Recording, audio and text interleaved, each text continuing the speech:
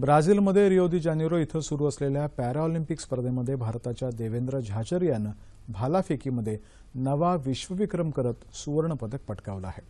त्रेसष्ट पूर्णांक सत्त्याण्णव मीटर अंतरावरती भाला फेकून त्यानं स्वतःचाच विक्रम मोडीत काढला. याआधी दोन हजार चारच्या अथेन्स ऑलिम्पिकमध्ये त्यानं बासष्ट पूर्णांक पंधरा मीटर अंतरावरती भाला फेकून सुवर्णपदक पटकावलं होतं. पॅराऑलिम्पिकमध्ये दोन सुवर्णपदकं मिळवणारा देवेंद्र हा एकमेव भारतीय ॲथलीट ठरला आहे. दोन हजार चारमध्ये अर्जुन तर दोन हजार बारामध्ये पद्मश्री पुरस्कार देऊन त्याचा गौरव करण्यात आला होता. पंतप्रधान नरेंद्र मोदी यांनी देवेंद्रचं अभिनंदन केलं देवेंद्रनं केलेल्या कामगिरीचा साऱ्या देशाला अभिमान आहे अशा शब्दात पंतप्रधानांनी त्याचा गौरव केला आहे.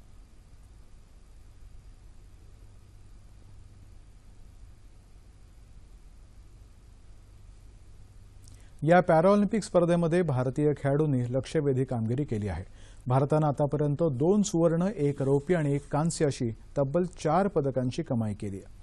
या पार्श्वभूमीवरती देशातील दिव्यांग खेळाडूंची सद्यस्थिती आणि ते करत असलेली लक्षवेधी कामगिरी या विषयावरती अधिक चर्चा करण्यासाठी क्रीडा पत्रकार सुनील लवाटे आज आपल्या स्टुडिओमध्ये आले आहेत. नमस्कार. नमस्कार. साडेनऊच्या बातमीपत्रामध्ये आपलं स्वागत. चार पदकं भारतीय चमून आतापर्यंत मिळवले. त्याच्यामध्ये सुवर्ण पदकांचाही समावेश आहे. या कामगिरीबद्दल आपण? निश्चितपणे चमकदार अशी कामगिरी आहे. दोन सुवर्ण पदकं आहेत. आता नुकतंच ऑलिम्पिक झालं. तिथे आपल्याला फक्त एक रौप्य मिळालं कांस्य मिळालं. आणि आता ह्या रिओ ऑलिम्पिकच्या या पॅरा ऑलिम्पिकमध्ये चार पदकं ही काही क- साधीसुधी कामगिरी नाहीये. दिव्यांग खेळाडूंनी आपापली कामगिरी उंचावत भारतासाठी पदकं मिळवलेली आहेत. आणि मुख्य म्हणजे शारीरिक व्यंग असून किंवा आपल्या उणीवा ज्या असेल त्याच्यावर मात करत ही त्यांनी कामगिरी नोंदवली. अथेन्समध्ये या जाजरी यांनी सुवर्णपदक मिळवलं होतं. त्याच्यानंतर दोन हजार आठ आणि दोन हजार बारामध्ये भालाफेक हा प्रकार नव्हता ऑलिम्पिकमध्ये. त्यामुळे ते पदक त्यावेळी त्याला मिळवता आलं नाही पण आता तब्बल बारा वर्षांनी त्यांनी हे पदक मिळवले. म्हणजे दहा वर्ष एखाद्या गोष्टी सातत्य राखणे साधी गोष्ट नाहीये. हं. म्हणजे जे इतर सुदृढ खेळाडू जमत नाही ते दिव्यांग खेळाडू करून दाखवत आहेत. त्याचं निश्चितपणे आपल्याला कौतुक वाटायलाच पाहिजे. खरं. पण मला वाटतं इतके काळ सतत खेळत राहणं आपण उल्लेख केला की देवेंद्रच्या याच कामगिरीचा खरं म्हणजे कौतुक जास्त व्हायला पाहिजे. पण त्याची कुठलीही चर्चा प्रसार माध्यमात होताना आपल्याला कुठेच दिसत नाही. असं का होतं सर? कारण मुळात पॅराऑलिम्पिक हा काहीसा दुर्लक्षित क्रीडा प्रकार झाला. क्रीडा स्पर्धा झाली असं म्हणावं लागेल. कारण मे मुख्य ऑलिम्पिक स्पर्धा संपली की लगेच पॅराऑलिम्पिक घेतलं जातं. आणि ह्या पॅराऑलिम्पिकमध्ये जे दिव्यांग खेळाडू आहेत त्यांचा कस लागतो. पण आपल्याला त्याची जाणीव नसते. कारण प्रसिद्धी माध्यमांची एक जी ह्यांच्याकडे दुर्लक्षित करण्याचा जो प्रकार आहे हा काहीसा खेदजनक असा म्हणावा लागेल. कारण क्रीडा विकास जर सांगायचा असेल तर तुम्हाला सर्वांना सामावून घेणं गरजेचं आहे. त्याच्यामध्ये दिव्यांग खेळाडू आहेत त्याचे सुदृढ खेळाडू पण आहेत. क्रीडा विकासाला जर चालना द्यायची असेल तर दिव्यांग खेळ दिव्यांग जे खेळाडू आहेत त्यांनाही देखील तुम्ही समाविष्ट करा त्यांना जिद्द त्यांची फुलवा त्यांना एक वेगळा आत्मविश्वास द्या. आणि हे अत्यंत गरजेचं आहे. अन्य खेळाडूंनी जे यश मिळवले पॅराऑलिम्पिकमध्ये भारताच्या ज्या खेळाडूंनी त्याच्याबद्दल काय सांगाल आता दीपक झाझरियानंतर तुमचा मध्ये पण थांगवेलू आहे दीपा दीपा मलिक आहे हं. ह्या दीपा मलिकचं तर तिला अठरा एक अठरा वर्षापूर्वी तिला पाठीत ट्युमर झाला होता. आणि त्या ट्युमरची एकतीस ऑपरेशन झाली आणि एकशे चौऱ्याऐंशी टाके आहेत आणि व्हील चेअरवर ती असून तिने हे रौप्य पदक भारताला मिळवून दिलेलं आहे. म्हणजे केवळ आपल्याला एखादे व्यंग आहे किंवा एखादा आजार आहे दुर्धर व्याधीने आपण व्याधीग्रस्त आहोत ह्याची तमा न बाळगता किंवा ह्याचं खंत न बाळगता जिद्दीने पुढे जाऊन केवळ पदक मिळवणं नव्हे तर खेळामध्ये सातत्य दाखवणं शा खेळावर विश्वास दाखवणं आपली खिलाडू वृत्ती ती जोपासणं हे तेवढंच महत्वाचं आहे. हे दीपा मलिकने पण दाखवून दिलंय. तसंच ह्या झाझरियाने पण आपलं सातत्य दाखवून दिलं की जी जुनी कामगिरी दोन हजार चारची होती ती त्यांनी दोन हजार सोळापर्यंत टिकवून ठेवली. आणि सुधारली. आणि सुधारली. त्याच्यात स्वतःचाच विक्रम त्यांनी अथेन्स ऑलिम्पिकचा मोडीत काढलेला आहे. त्यामुळे त्याच्या कामगिरीची आपल्याला दखल घेणं अत्यंत गरजेचं आहे. पण दखल घेणं गरजेचं असं आपण म्हणतात. तशी कोणी घेतलेली दिसत नाही. म्हणजे पी व्ही संधूवरती गाड्यांपासून रोख रकमांपर्यंत म्हणजे खासगी संस्था खासगी व्यक्तींपासून ते विविध राज्य सरकारं यांनी लक्षावधी आणि कोट्यवधी रुपयांची एक प्रकारे आपण म्हणू की वर्षावच केला होता. तसा काही प्रतिसाद अजून या खेळाडूंना आपल्याला दिसत नाही. हीच एक खेदजनक अशी गोष्ट म्हणावी लागेल आपल्याला कारण तामिळनाडू सरकारनं फक्त दोन कोटींची मदत खेळाडूंना मदत म्हणजे एक बक्षिसाची बक्षीस पोटी अशी रक्कम दिलेली आहे. पण बाकी अन्यथा जो वर्षाव या खेळ आपल्या सुदृढ खेळाडूंवर झाला रिओ ऑलिम्पिकमधल्या विजयवीरांवर झाला तो ह्या खेळाडूंबाबत आपल्याला दिसत नाहीये. ह्याच्यात त्या खेळाडूची उमेद मारली जाऊ शकते. आणि ह्या मुख्य म्हणजे आपल्या आपल्या उणीवा आपल्या व्यंग ह्याच्यावर मात करत त्यांनी जे यश मिळवले त्याची त्यांची जी जिद्द आहे ती वाखाणण्याजोगी आहे. आणि त्या जिद्दीला सलाम ठोकायलाच पाहिजे. आणि त्याकरता केवळ बक्षिसांची रक्कम तुम्ही देऊ नका. बक्षी पारितोषिक तुम्हाला देता आली तर. किमान त्यांचा गौरव तरी करा त्यांना सन्मानित करा. आणि अशी काळाची गरज आहे. कारण आपल्या घरात एखादं साधं असं दिव्यांग मूल जन्माला आलं तर पालक मानसिकदृष्ट्या खच्चीकरण होतं पाल पालकांचं. ते मुलाला जास्तीत जास्त जपण्याचा प्रयत्न करतात. अशा परिस्थितीमध्ये त्यांनी खेळावं पुढे यावं हा तर प्रकार खूपच दूर राहिला आहे त्यामुळे दिव्यांग खेळाडूंच्या दृष्टीने आपल्याला अधिक उपाययोजना अंमलात आणणं जास्त गरजेचं आहे. कारण त्यांना आत्मविश्वासाची गरज आहे त्यावर पाठिंब्याची गरज आहे. आर्थिक तरतुदी करणं गरजेचं आहे. आणि मुख्य म्हणजे प्रसिद्धी माध्यमांनी जेवढं महत्त्व ऑलिम्पिकला दिलं तेवढंच महत्त्व पॅराऑलिम्पिकला देणं हे अत्यंत गरजेचं आहे. आज पदक विजेत्यांची नावं आत्ताच लोकांना कळत आहेत पण हे खेळाडू कुठे होते काय होते यांच्या स्पर्धा कुठे होतात काय होतात ते कोणाला काही माहीत नाही आहे आणि हे जे एक जी विषमता आहे सुदृढ खेळाडू आणि दिव्यांग खेळाडू ही कुठेतरी दूर व्हायला पाहिजे.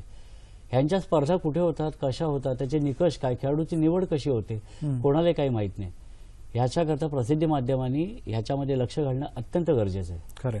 आणि आता केवळ पारितोषिक मिळालं ऑलिम्पिक स्तरावरती त्याच्यानंतर केवळ बक्षिसांचा वर्षाव न करता आधीपासून कारण आर्थिक जी गरज असते ती खरं आधीच्या स्टेजला असते. तिथेही मदत व्हायला पाहिजे. प्रोत्साहन जे हवंय ते सुरुवातीपासूनच हवंय. आणि आता ह्याच्यामध्ये इतर खेळाडूंच्या तुम्ही म्हणता की उदंब खेळाडूंकडे लक्ष द्या. ह्या ह्या पॅराऑलिम्पिकच्या खेळाडूंबाबत काय म्हणणार. की त्यांचा शोध कसा घेणार? तर जी मुलं दिव्यांग आहेत. त्यांचा तुम्ही आत्मविश्वास फुलवा. त्यांना ज्या क्रीडा प्रकाराची आवड आहे त्या क्रीडा प्रकारामध्ये त्यांना त्याच्यात जाण्याची चालना द्या. पालकांनी देखील तेवढंच धारिष्ट्य दाखवलं पाहिजे की आपला मुलगा भले पदक विजेता नको ऑलिम्पिकला जाऊ नको पण तो खेळला पाहिजे तो मैदानावर गेला पाहिजे. म्हणजे त्याच्यात जी खेळाडू वृत्ती आणि जिद्द फुलेल आणि त्याला जे येणाऱ्या प्रश्नाला सामोरं जाण्याची जी त्याच्यात ताकद येईल मेंटल टफनेस ज्याला म्हणतो मानसिक ताकद येईल ती अत्यंत महत्वाची आहे. आणि ह्यातून जे दिव्यांग खेळाडू आहेत त्यांच्याकडे केवळ सहानुभूतीपूर्वक न पाहता त्यांच्या पाठीवर शाबासकीची था- थाप ठोकत त्यांना पुढे जाण्याचे आपण प्रोत्साहन दिलं पाहिजे. पण त्यासाठी मुळात आपल्याकडे मैदानं हवीत प्रशिक्षण देणाऱ्या संस्था हव्यात.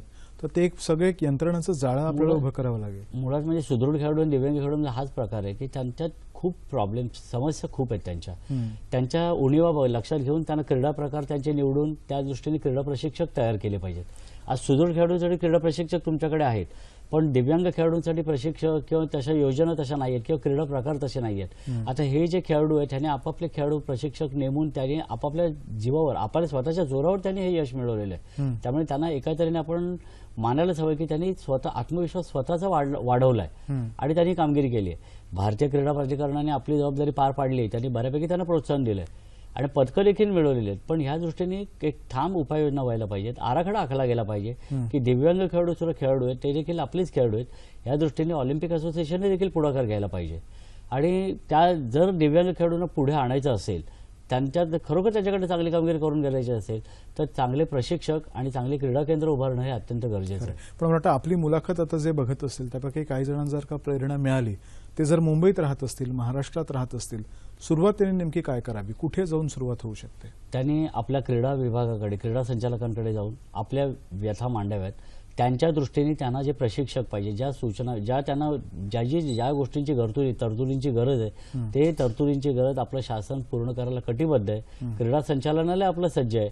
फक्त त्यांच्यापर्यंत पोहोचणं गरजेचं आहे. तुम्हाला मार्ग दाखवायला ते तयार आहेत. फक्त तुमची मानसिकता पाहिजे की आपण तिकडे पोहोचलं पाहिजे. खरंय अनेकदा खरं म्हणजे कुठल्या खेळाची निवड करावी याच्यासाठी सुद्धा मार्गदर्शन. निश्चितपणे. तुमचं व्यंग काय? तुमचे शारीरिक उणीव काय? त्या दृष्टीनेच खेळाची निवड होते. आणि हे प्रशिक्षकच तुम्हाला जास्त चांगलं सांगू शकतो. त्यामुळे चांगले प्रशिक्षक तयार मुळात होणं हे अत्यंत गरजेचं आहे. आणि त्या प्रशिक्षक हे दिव- सुदृढ खेळाडूंसाठी सहजपणे मिळू शकतात पण दिव्यांग खेळाडूंसाठी प्रशिक्षक मिळणं हे खूपच अशी कष्टाची बाब आहे. आणि त्या दृष्टीने क्रीडा संचालनाने आणि क्रीडा प्राधिकरणाने पुढाकार घेऊन परदेशातनं देखील अशी काही माहिती गोळा करून आपापल्या खेळाडूंना त्या दृष्टीने तयार करायला पाहिजे. आणि तुम्ही मग अशी उल्लेख केला तसं एक समाजाची जी एक मानसिकता आहे विचार करण्याची ती बदलणं हे खरं तर खूप आवश्यक आहे. क्रीडा संस्कृती समाजातच खरं रुजली पाहिजे. अत्यावश्यक आहे. सुदृढ पालकांच्या बाबत सुदृढ पाल्यांच्या बाबत पालक एवढे का जागरूक असतात की त्यांनी खेळलं पाहिजे त्यांनी पुढे आलं पाहिजे. पण अभ्यास देखील केला पाहिजे नोकरी देखील केली पाहिजे. ही त्याची एक त्यांची मूळ भूमिका असते. पण दिव्यांग खेळाडूंच्या बाबत पालक पालक त्यांना जास्तीत जास्त प्रोटेक्ट करतात संरक्षित करतात. आणि हे पालकांनी टाळलं पाहिजे. पालकांनी आपला मुलगा अगदी फार मोठा खेळाडू असेल पण त्यांनी खेळलं पाहिजे त्यांनी मैदानावर गेलं पाहिजे. एवढं जरी केलं तरी जो जो दिव्यांग खेळाडू आहे तो आपल्या व्याधी विसरून आपली दुःख विसरून समाजाला एका सामाजिक प्रश्नांना किंवा कुठल्याही कौटुंबिक प्रश्नांना तो वेगळ्या दृष्टीने वेगळ्या टफनेसने वेगळ्या मानसिक कणखरतेने तो सामोरं जाईल. खरं मला असं वाटतं की देवेंद्रने आज दुसरं सुवर्णपदक जिंकून एक मोठा आदर्श निर्माण केला. त्यातनं काही प्रेरणा घेऊन असेच खेळाडू भारतामध्ये महाराष्ट्रात सर्वत्र निर्माण होतील अशी आशा व्यक्त करूयात. आपण इथे आलात आणि आमच्याशी हा संवाद साधलात. याबद्दल धन्यवाद. धन्यवाद.